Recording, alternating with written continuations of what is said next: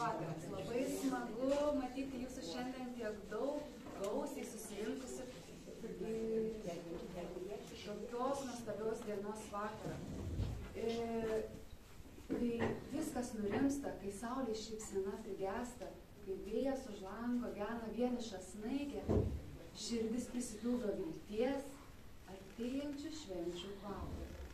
Tai žiemos pradžios ir saulės sugrįžimo laukimo metas ramybės susikaupimo, kalėdų laukimo metas.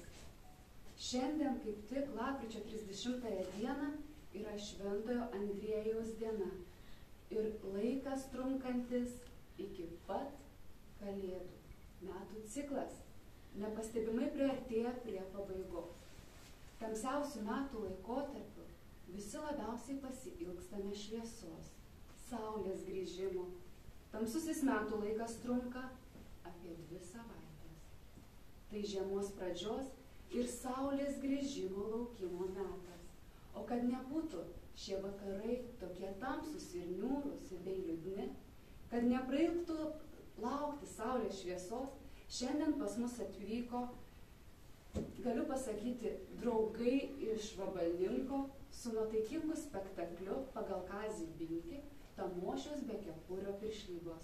Šio spektakliaus režisierius Aloizas Janulis, o kolektyvo vadovas Petras Matulis. Taigi kviečiame juos į sceną.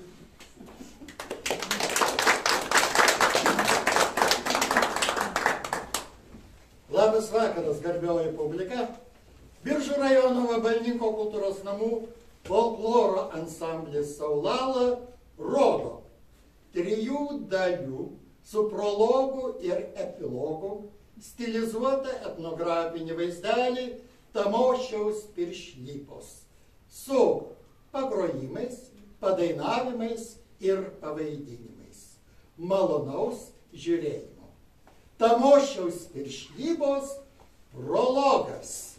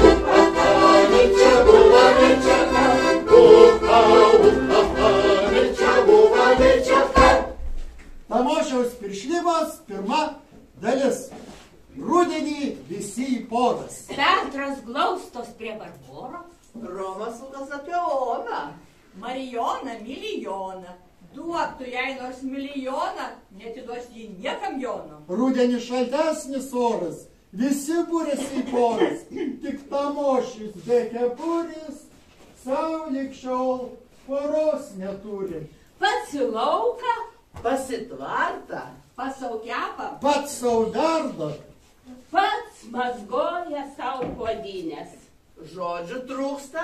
Gaspadinės. Reikia piršlio. Dėdės Miko. Mielai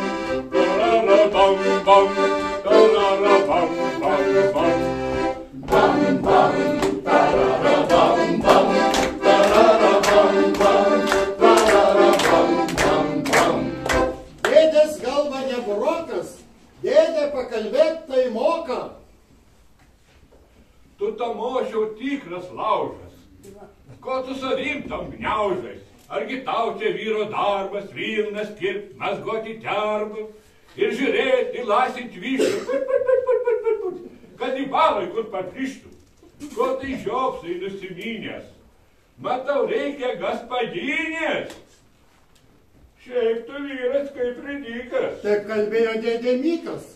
Dėdė Mikas taip kalbėjo ir kalbėjo ne ant vėjo, nes tamošius tai viską girdi. Žodžiai krinta jam į širdį, nuo širdis negi iš medžio. Svarbu padaryti pradžią, o paskui eitų savaime. Bet tamošiai ima baimę.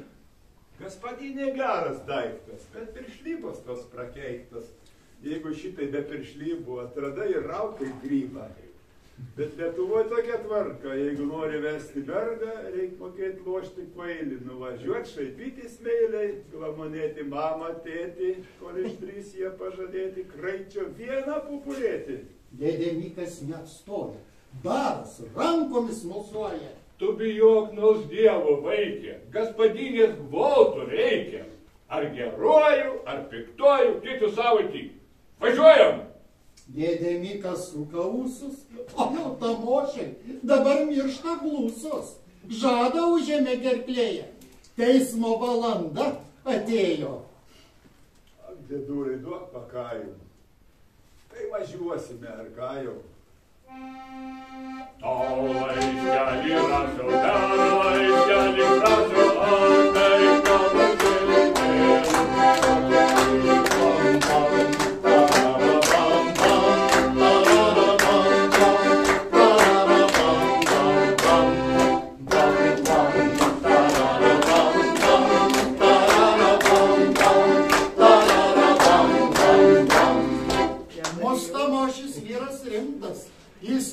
nemėgsta žodžiais imtis.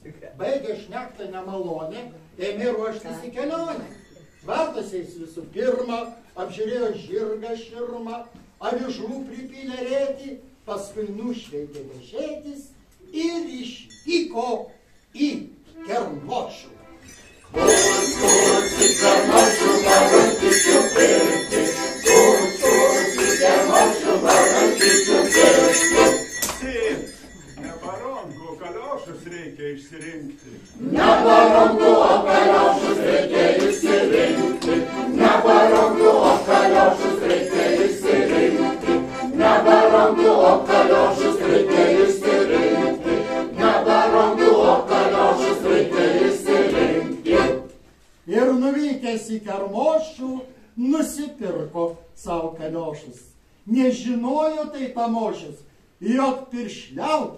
reiks su kaliošais.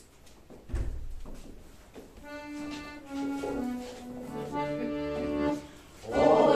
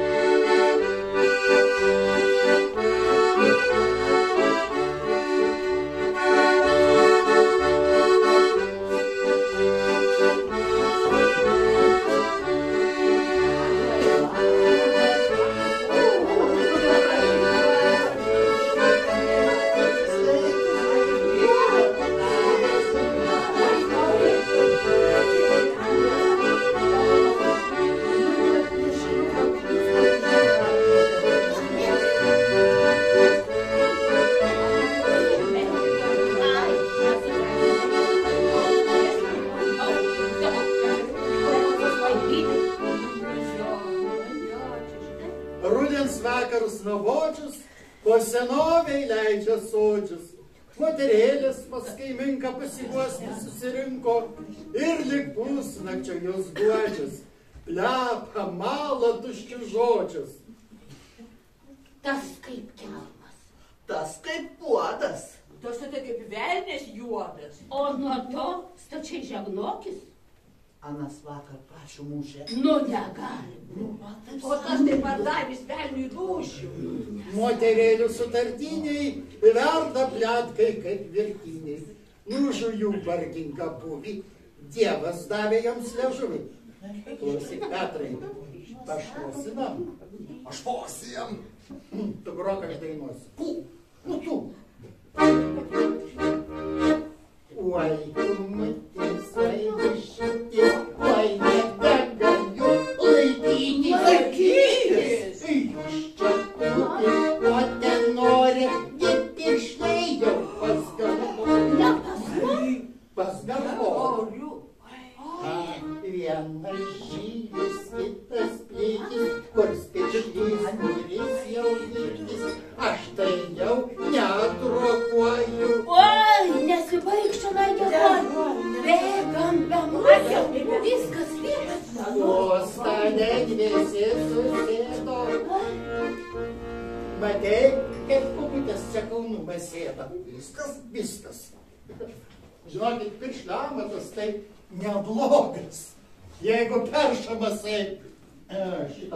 žmogus, tik gražiai laikytis moka. O peršamo dalis sunkoka.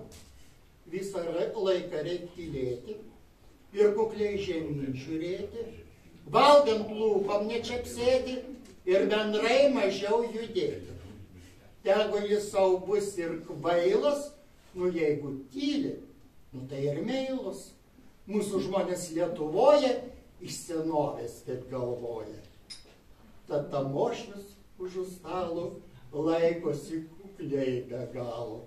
O dėdė Mikas kalbas varo apie 20 hektarų, apie namą kaip iš stiklo, apie alų ir salyklą, apie spintas, apie puodus, dėdė kalba apie viską. Net iš džiaugsmo jam akis blizga. Nu va, matinyt, būsim giminės, kaimynai, tokia puikiai gaspadinė, kaip jūsiški štai jaunykė, jis stebuklus padarytų. Ten pas mus gyven kaip mieste, plaukiu, savo kaip sūrį sviesti.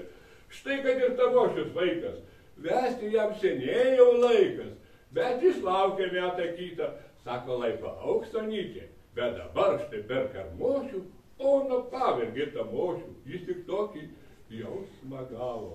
Ėmėm štai ir atvažiavom. Kiekvienam geriau vis noris. Pagalvot, Ir onai laikas, juk ir ji jau nebe vaikas. Eik iškep kiaušinėlį. Parstamosius, vyras rimtas, bus ir kraičio kokį šimtą. Ir bendrai, kiek jau išgalim, atiduosim josios dalį. O ona kepė kiaušinienę. Ir kalbų protingų klausė, bet patiko jai labiausiai tas, kur nieko nekalbėjo, tik kramtė sūrį ir tylėjo.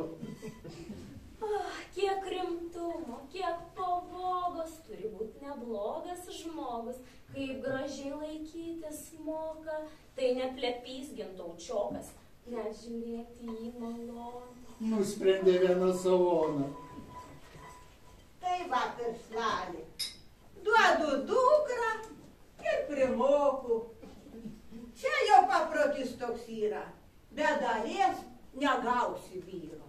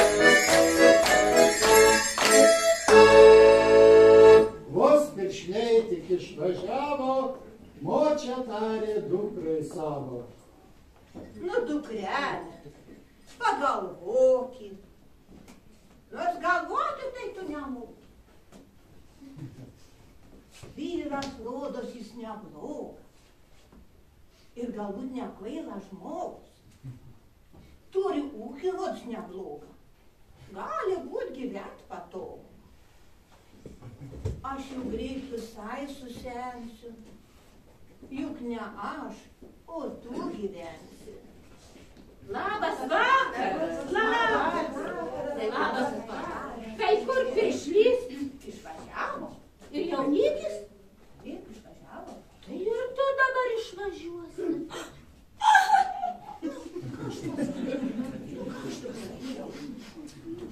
Ak, manoji mamanytė, kągi man dabar daryti? Nepažįstamas tas namas, reiks gyventi be tavęs, mama. O ir vyras, nors protingas, bet jis toks nereikalingas. Iš to savo didžio proto jis toks svetimas ant proto.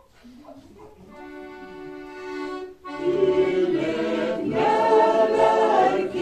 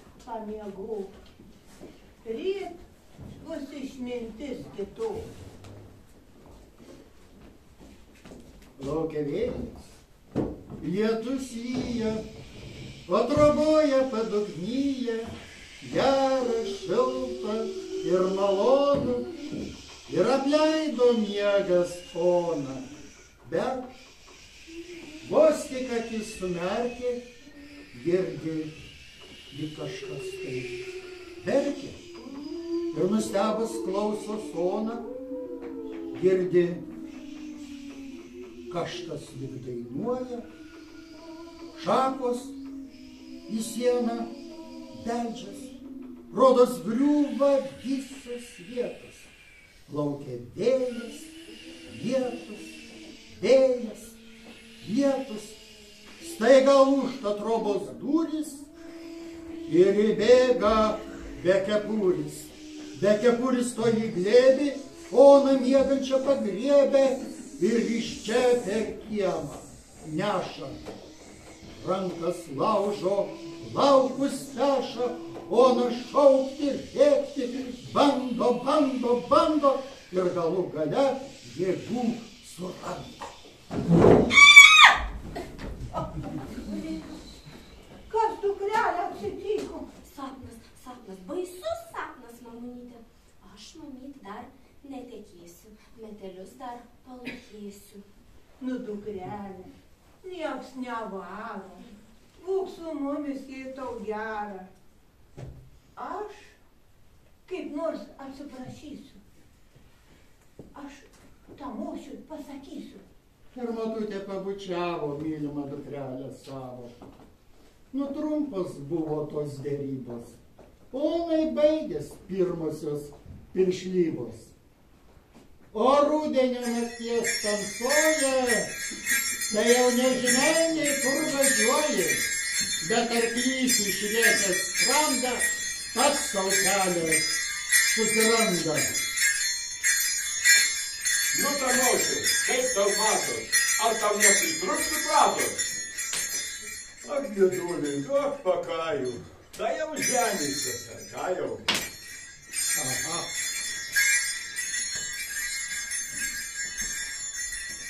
получил первый праздничный прославлен год лет по байкам. Sola,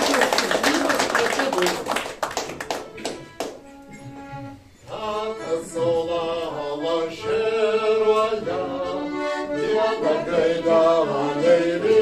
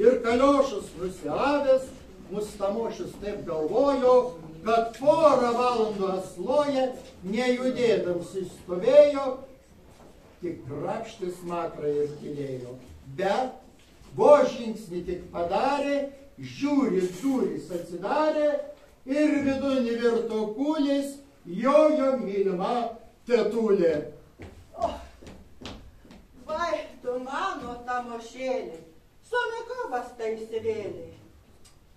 Nu ką tas žmogus tik nedaro, neišeis jau tas į gerą. Nu, kam trankytis tau pasiekti? Štai tau jokymo Lisbieta, konė merga, konė žmona, daug vikresnė už tą oną. O ir kraitis jos neblogas.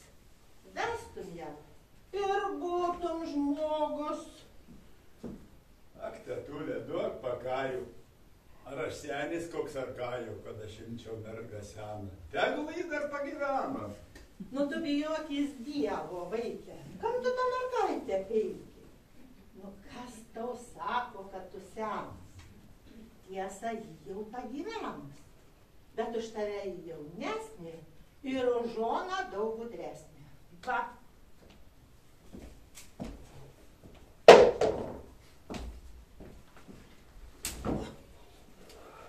Tetulytė, ką? labas rytas.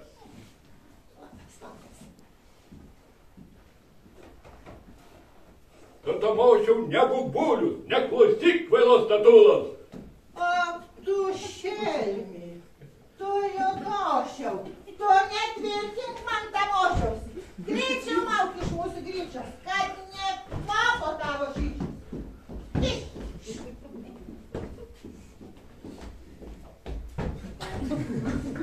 Ir tamočiai pirmą kartą kažkas gerklėje karpo, ir krūtinę kažkas spaudžia, ir akis migla aptraukia.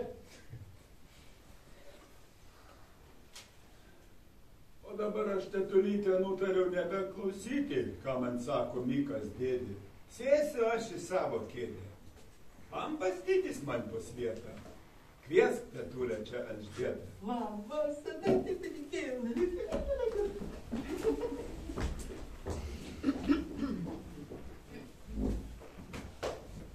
Ką čia tau toksai do karšti?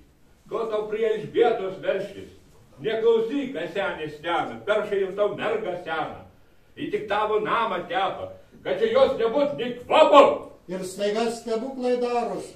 Veras duris iš kamaros ir į vidų su kačarga šoka kaip pasiūtus merga. O paskui versta kūliais susijaudinus tetulė. Ach, tu senkelni, begėdi, tai tu šitaip žmonės sėdi. Šitaip tvirtini tavai reikės. Kaip tave tik žemė laiko? Greičiau mauk iš mūsų. Nergi.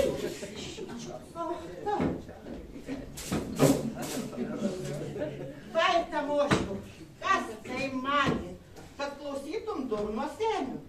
Juk matai, jisai pavyko.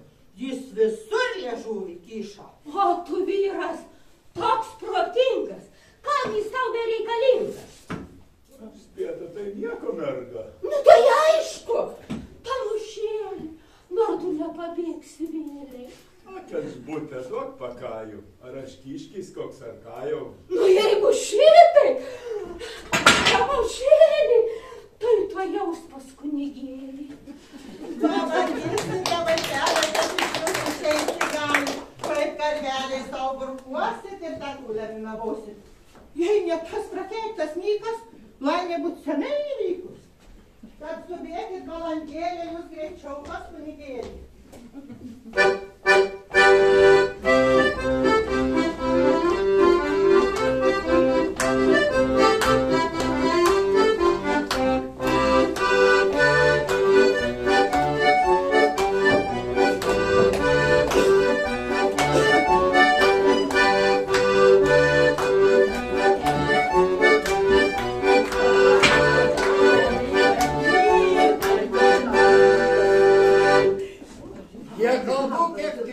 buvo, boboms gomuriai išdžiuvo. Plepa, kalba visas žodžius, gaudo viens nuo kito žodžius. Tai stebuklai ant šios vietą. Mus tamošis ves Elžbieta. Tu, matatula jo susiuva. Taigi vakar sutartuvės buvo. Aha, buvo, buvo. Taigi dabar vaikščios su kaliošais ir Elžbieta ir tamošis. Gaila. nesuprato tai prieš dvidešimtį metų. Jo, gaila. Gaila, gaila. Oi, žiūrėkit, jau ateina. Aha.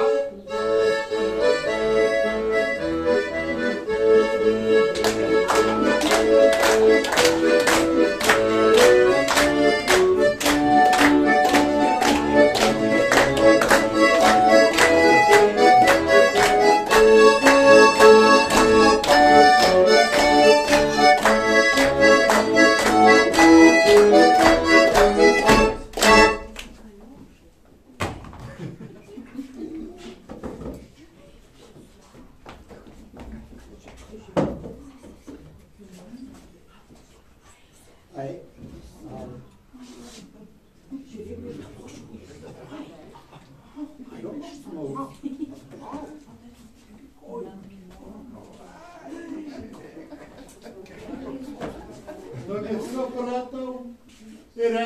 Elžbieta ir Tamošius eis ant šliubą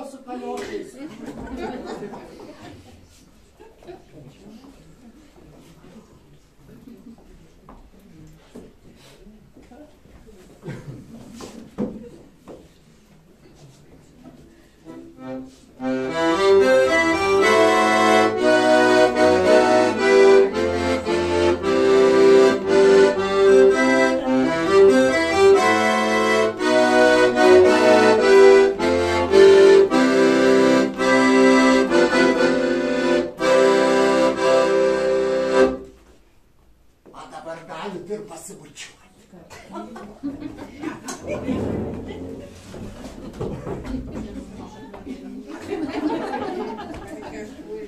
Nesvarbu, kad bučkis į kepurę, svarbu, kad yra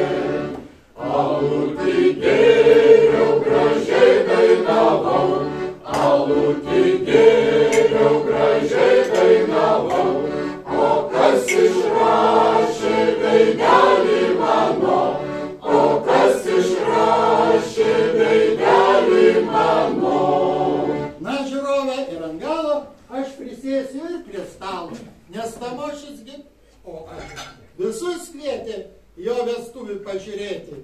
Bokaluose alus tegu putoja, muzikantai tegu groja, o jaunieji tegu pasimoko, koks vaseniesiems dydis vargas, sukinėtis apie mergas. Bet kiekvienas, kol dar jaunas, tegu savo mergaitę gauna, nes kitaip bus kaip tamošiui, kazys binkis, alijošius.